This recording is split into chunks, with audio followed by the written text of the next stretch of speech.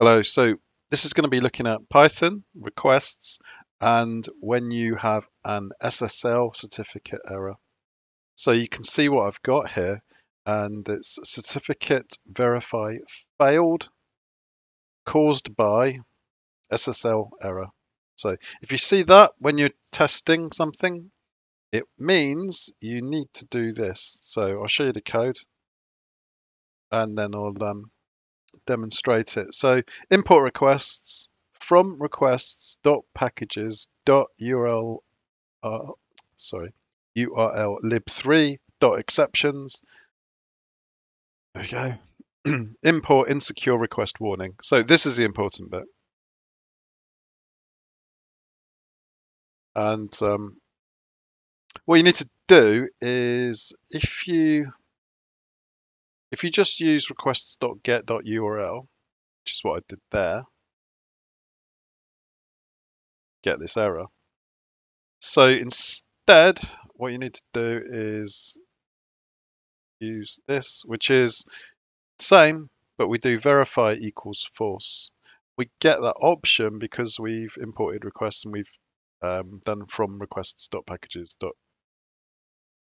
So um, if you want to test it, you can use this URL, expired.badssl.com, and it allows you to test it. And now when I run Python with the script's name, it works.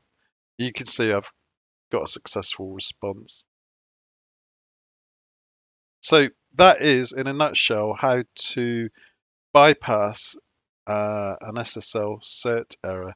Now, you probably wouldn't want to do that in production, but when might you want to do it? You might want to do it if you're actually doing some development. So if this is, um, uh, you could have an SS uh, load balancer, for instance, you might have um, an F5 or something, and then your server's behind it.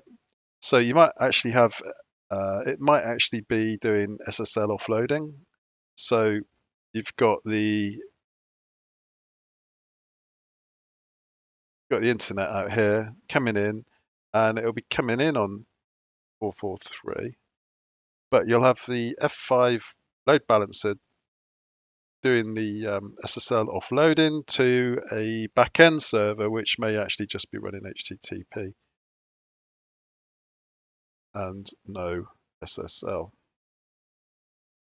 It's called SSL offloading and it, it does happen in production but um, if you're here inside the corporate network, for instance, and you want to do some tests to this server, or you may actually just want to be doing some uh, production code to this production server without actually needing to come in via the public facing uh, interface.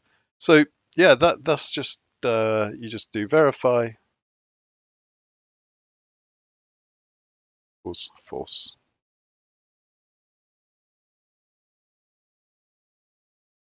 And that what I'm just showing here is obviously the, the Python code. Um, so that is how to avoid an SSL error with this is a very long um, I'll maybe put a gist of this in the video description if that will help. Um, so yeah, thumbs up, subscribe, all the usual nonsense that YouTube people say helps the channel, um, blah blah blah. So yeah, thank you, thank you, and I'll be back soon.